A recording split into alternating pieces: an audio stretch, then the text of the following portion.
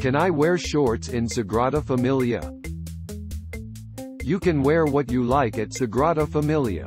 Dress code for churches, shorts or bare shoulders are not allowed for either women or men.